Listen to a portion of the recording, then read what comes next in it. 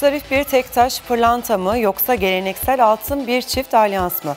Hayatımızdaki pek çok alanda olduğu gibi zevklerimizde de burçların etkisi büyük.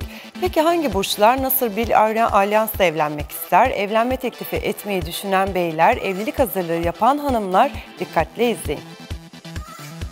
alyanslardan, pırlantalardan, e, elmaslarla bezeli alyanslardan her zaman hoşlanacaklar. Gelin adayları dikkat! Burcunuz evlilik yüzüğünüzün seçimini de etkiliyor. Sade, zarif ve platin üzerine yapılmış alyansları tercih edebilirler. Hangi burçlar nasıl bir evlilik yüzüğü istiyor? Kalplerden oluşan alyanslar onların duygularını yoğun bir şekilde karşılıklı olarak yansıtmalarına yardımcı olacaktır. Evlilik yüzüklerinden hangisini seçmelisiniz? Alyansın içerisinde mutlaka kendilerine özgü bir sözün veya ismin bulunmasını tercih ederler. Evlilik başlı başına zor bir karar. Ama ondan sonraki adımlar daha da zor. Doğru insanı buldunuz ve evlenmeye karar verdiniz. Şimdi iş geldi o yüzüğü almaya. Uzman astrolog Şenay Yangel burçlara göre evlilik yüzüklerini sadece Magazin 8'e açıkladı. Sevgili koçlar için her zaman klasik alyanslar vazgeçilmez olacak ve duygusal olarak kendilerini daha bağlı ve güvende hissedeceklerdir. Klasik alyanslar tam da koçlara göre. Sıra geldi Boğa burcu gelin adaylarına. Boğalar kişiye özel tasarımlardan ve iki renk birden alyansları e, severek kullanacaklardır. Zeki, değişken, esprili, meraklı ve yeniliklere açık ikizler kadını ele avuca sığmayan hayal gücü ve yaratıcılığıyla evlilik yüzüğünün de farklı olmasından yana. İkizler için her zaman değişiklik ön planda olduğu için sezonun trendi alyansları tercih etmeleri ilişkilerindeki heyecanları yansıtmalarını sağlar. Güzel şarkıcı Tuğba Özerk de geçtiğimiz ay sade bir düğünle menajeri Altan Nuh'la evlenmiş, o meşhur evlilik yüzüğünü parmağına takmıştı. Çiçeği burnunda gelinin büyük pırlanta yüzüğünden de anlaşılacağı üzere kendisinin farklılığı seven bir ikizler kadını olduğunu anlamak zor değil. Allah mesut etsin diyelim ve sıradaki burcumuz yengeçlerle devam edelim. Sevgili yengeçler içinse kesinlikle alyansları çok özel olmalı. Birbirlerinin isimlerinin baş harfinin içinde veya dışında görünür şekilde olması onlar için cezbedici olur. Gösterişli aslanların nasıl bir yüzük tercih ettiğini tahmin etmek zor olmasa gerek. Sevgili aslanlarsa gösterişli alyanslardan, pırlantalardan, e, elmaslarla bezeli alyanslardan her zaman hoşlanacaklardır.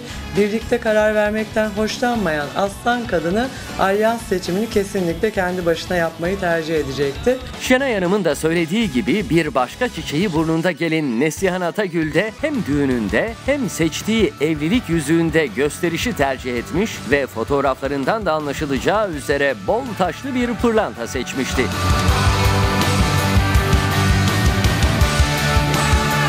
Sanatsever Başak kadınları sade ve zarif yüzüklerin kendilerini tamamladığını bilir ve tercihlerini ona göre yaparlarmış. Sevgili başaklarsa ayrıntılara çok önem verip çok şaşalı e, alyanslardan hoşlanmayıp sade, zarif ve platin üzerine yapılmış alyansları tercih edebilirler. Aşkı parmaklarındaki yüzeye kadar yansıtmak isteyen terazi kadınları kalpli şekilleri yüzüklerine de taşıyabilirlermiş. Sevgili teraziler için kalplerden oluşan alyanslar onların duygularını yoğun bir şekilde karşılıklı olarak yansıtmalarına yardımcı olacaktır. Yüzük takmayı pek sevmeseler de sade alyanslar tam da akreplere göre. Akrep insanları alyans takmaktan çok hoşlanmasa da evliliklerini taşlandırmak için sade, beyaz ve platin üzerine yapılmış zarif e, modellerle yapılmış alyanslar her zaman onların ilgisini çekecek. Sıradaki burcumuz yaylarla devam edelim. Yay kadınlarının evlilik yüzüğü tercihleri bakalım nasılmış? Sevgili yay insanları ise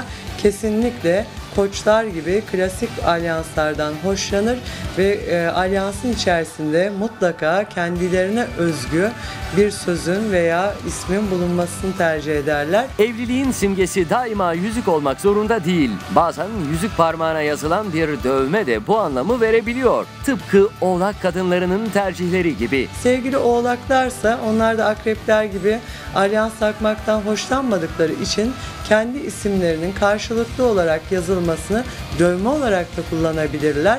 Mecbur kalırlarsa beyaz altın üzerinde de alyans olarak tercih edebilirler. Kovalar farklı tarzda alyansları tercih ederken Kova insanları değişikliğe, yeniliğe çok açık olduğu için sıra dışı kendi tasarımlarından oluşan alyansları severek kullanacaklar. balık gelinleri ise değerli taşlardan oluşan zarif yüzüklerden hoşlanırmış. Balık için kesinlikle zarif pırlantalar ve elmaslarla süslü, değişik e, değişik ve değerli taşların bulunduğu alyanslar onlara her zaman cezbedici gelecek.